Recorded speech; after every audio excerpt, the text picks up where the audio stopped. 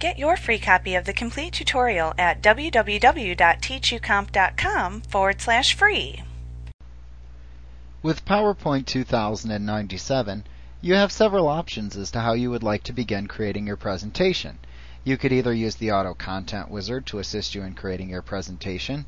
You could start with a design template, which would allow you to not worry so much about how your presentation appears, but just focus on the content. Or you could create your own blank presentation from scratch where you would control everything. So if you want to create a new presentation, you should select File from the menu bar and choose the New command. And in the new presentation dialog box that appears, you can see the different tabs that contain the options you have for creating a presentation. If we're looking at the 97 version, then we should see the different tabs of General, Presentation Designs, and Presentations. In PowerPoint 2000, we have General, Design Templates, and Presentations. And you would just click on the tab that contains the presentation option that you want to use as a basis to create your new presentation. And we'll look at how we can create a presentation for each type.